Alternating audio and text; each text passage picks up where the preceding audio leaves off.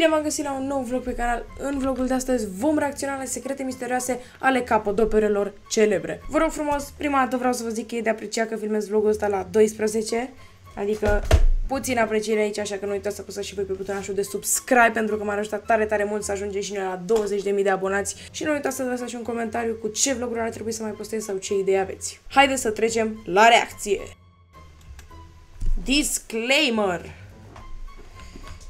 Arta este lumea misterioasă a oamenilor stranii și chiar a bebelușilor și mai stranii. Dar te-ai întrebat vreodată ce înseamnă și dacă în general înseamnă Ok, ceva. haideți să Chiar trecem. și oamenii care au studiat Mai activă departe, pensulele și Nine pe Channel. mistă De unii dintre voi chiar ați și Mona Lisa. văzut-o la Louvre din Paris. Dar știați Hai, că ea pe bune. nu arată așa. Dar așa. Ce? Nu e același Da, lucru? aceasta e Mona Lisa pictată de Leonardo da Vinci la începutul secolului al XVI-lea, dar aceasta este Mona Lisa pictată de unul dintre elevii lui da Vinci, în același timp cu originalul și în același atelier. Fapt este că în pictura lui da Vinci există straturi de lac crăpat, care o fac pe Mona să pară mult mai bătrână decât este în realitate. Versiunea studentului său a fost restaurată în 2012 și arată ca nouă, iar acum avem două Mona Lise. Grozav! Dar este într-adevăr una dintre ele o Mona Lisa adevărată? Inginerul Pascal Cod consideră că nu. El a aplicat propria sa metodă de băi, amplificare haideți să stratificată căutăm. în care este direcționată Mișto așa. O lumină puternică către suprafața imaginii, iar camera măsoară reflexia acesteia. Acest lucru vă permite să reconstruiți ceea ce este între straturile de vopsea prin eliminarea straturilor în format digital Băi, ești și nebun. arătând ce este de desubt. Surprinzător, dar se pare că bătrâna Mona o ascunde pe alta. Eu nu Bune. mai înțeleg ce este real. În fine, artiștii își revopseau în mod constant pânzele. Credeți că din prima erau perfecte? Nu! Iar dacă aceasta era o comandă, atunci clientul putea să dorească să facă unele modificări. Silvano Vincetti, un cercetător italian, crede că scanerele lui Cot au scos la iveală noi secrete care noi nu le-am observat. Oh. Potrivit lui Vincetti, el a găsit litera S în ochiul stâng și litera Unde L vedeți, în mă, ochiul elul? drept. Unde-i, Iar mă, în elul? opinia Că lui, nu-l văd. acest Nu văd niciun el. Acestea pot spune numele modelului. Se crede că Lisa Gherardini, soția unui negustor bogat de țesături, a pozat pentru pictura Mona Lisei. Cu toate acestea, Vincetti susține că S poate indica o femeie influentă din dinastia Sforza, din Milano, pe care Leonardo o vizita des și el este numele artistului. De ce Vincetti nu a explicat, deoarece niciodată nu a studiat tabloul personal, doar diverse scanări, așa că eu mă îndoiesc în aceasta. Este mai mult un mister pentru mine. De ce atât de mulți oameni se ceartă în privința personalității Monei? Pe Este bune, doar o imagine. Oamenii ăștia chiar n-au ce face, gen. Sau mă rog, poate, doar de asta sunt plătiți să se uite la imagini și să, să analizeze și să zică ei ce cred. Gen, vreau și eu jocul ăsta, e prea tare. Nu este atât de complicat. Știi ce secret știe toată lumea? Că videoclipurile mele sunt foarte interesante, așa că dă click pe butoanele de like și subscribe. apăsați și voi pe butonajul de Și subscribe, poți da? face imediat cunoștință cu capodoperele mele. Dar acum să continuăm. Cum să te uiți? Ok, destule tablouri pictate, ce zici de ghicitori ascunse la vedere? Aceștia sunt ambasadorii artistului germano-elvețian din secolul al XVI-lea, Hans Holbein, cel tânăr, în care doi elvețian din secolul al Ăsta. XVI-lea. Ăla din stânga zici care e fața photoshopată pe fo...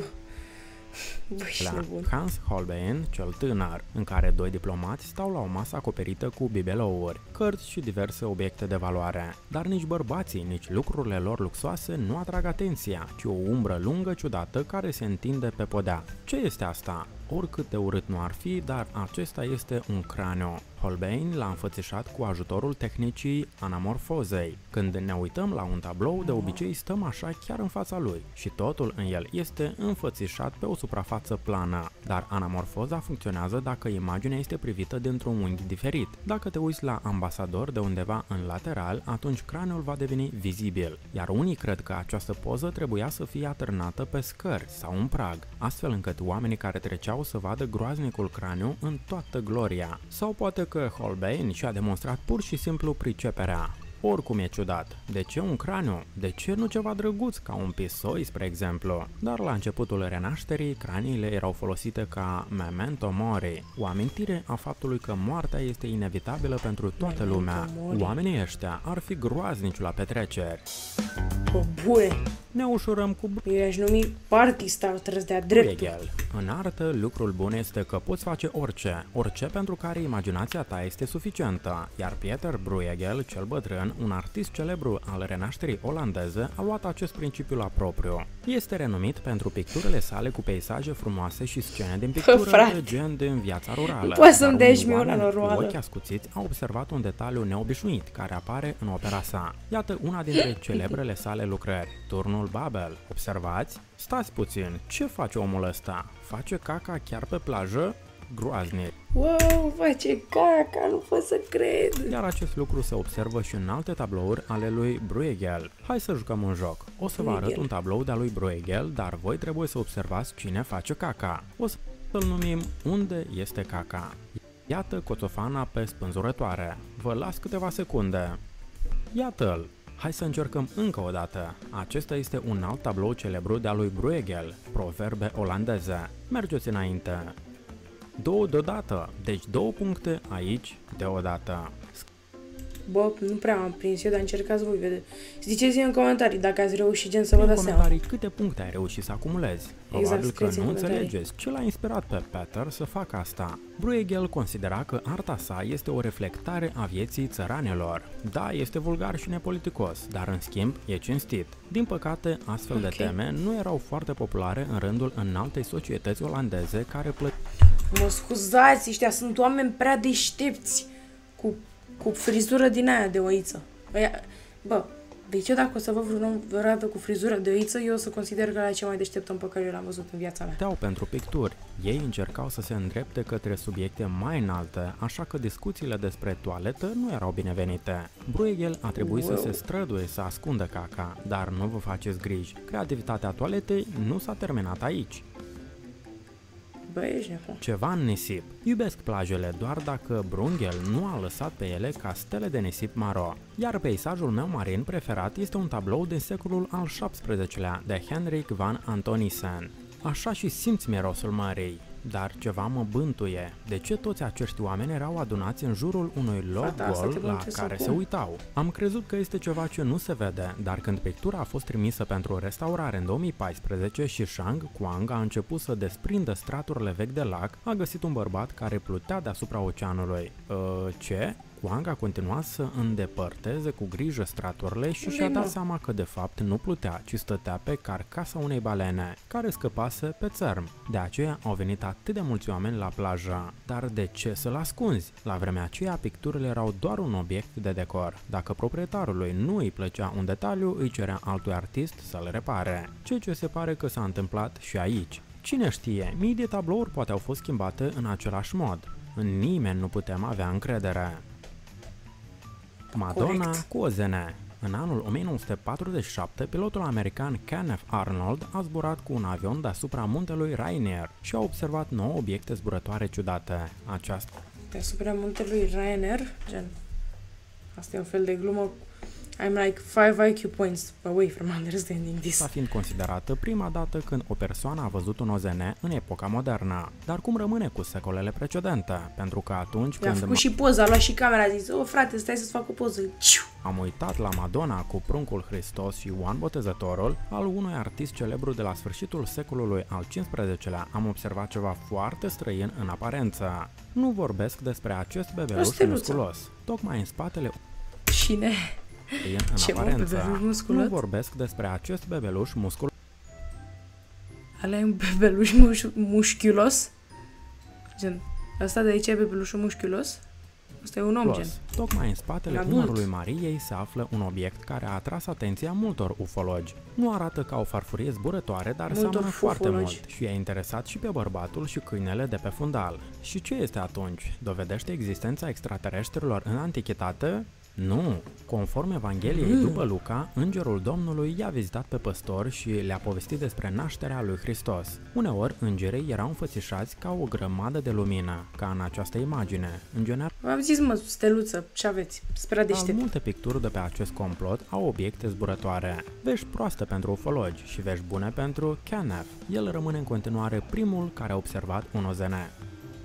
Dar de unde știți, mă, că e o zene? Poate e o steluță. Băiat mason. Ghici, cine copilul s-a ăsta. alăturat unei societăți secrete? Da, Copilaș. eu. A trebuit doar să transfer 2000 de dolari într-un cont din Nigeria și gata. Acum sunt cu băieții. Multe personalități istorice s-au alăturat societății secrete. Îl cunoașteți pe Mozart. Vedeți portretul lui Pietro Antonio Lorenzoni din anul 1763, când Mozart era copil. Mâna în sânul lui poate indica apartenența masonilor. Acesta este un ordin secret și apartenența la acesta era raportată cu ajutorul gesturilor și strângerii de mână. De ce asemenea secret? Masonii erau reprezentanți ai elitelor, precum Benjamin Franklin, George Washington, Winston Churchill, Bă, dar ce însemna mason? Că nu mai țin minte. Stai. Așa, gata. Ce înseamnă mason? Mason. Însă, potrivit definiției date de masoni înșiși, ma- masoneria, schizonerie, este o asociație de oameni liberi și de bune moravuri care conclu, conclu, crea, con, a, pardon, mă scuzați, care conlucrează pentru binele și progresul societății pentru perfecționarea morală și intelectuală a membrii s- și morală și intelectuală a membrilor săi. Ce aveți, m-am înțeles tot. Nu vă puneți cu mine. erau membri a unei loji masonice. Și cu ce se ocupă toți acolo? Este ținut în secret.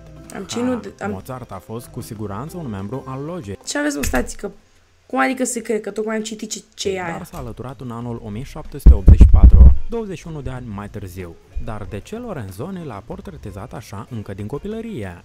Multe portrete din secolele al XVIII-lea și al XIX-lea înfățișau bărbați cu mâinile în sân. Aceasta este versiunea iluministă a buzelor de rață. Dar e în regulă. Pare o coincidență interesantă, având în vedere că Mozart a devenit franco-mason, iar datorită tehnologiei putem vedea ce anume a făcut cu mâna lui. Vreți să vedeți? Ei bine, uitați-vă mai atent.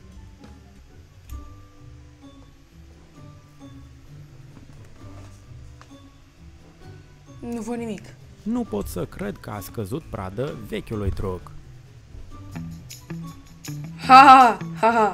Cina cea de taină. Ce materie Oh my nu ți-a God. plăcut la școală? Mie Pauză. matematica, dar Vasile are 5 mere. Foarte bine, lasă-l să le mănânce. Mai târziu mi-am Pe bun, gen. Mihai are 5 mere. Maria îi cere 2 și Alex 2. Cu câte rămâne? Tot cu 5. Gen. V-ați prins? Ziceți în comentarii dacă v-ați prins, gen. Asta e lumă de oameni deștepți. dat seama cât de importantă poate fi matematica. Amintește-ți de Da Vinci despre care am mai vorbit astăzi. Lui îi plăcea matematica și desenează cu ea. Uite, aceasta este cina cea de taină. Da, băieți, cam acesta a fost și vlogul de astăzi. Dacă v-a plăcut, nu uitați să apăsați și voi pe butonașul de like, subscribe și să dați acolo un mare share să puneți pe Insta să știe și alții că am postat. Vă pup și vă salut, iar noi ne vom vedea în vlogul următor. Ciao!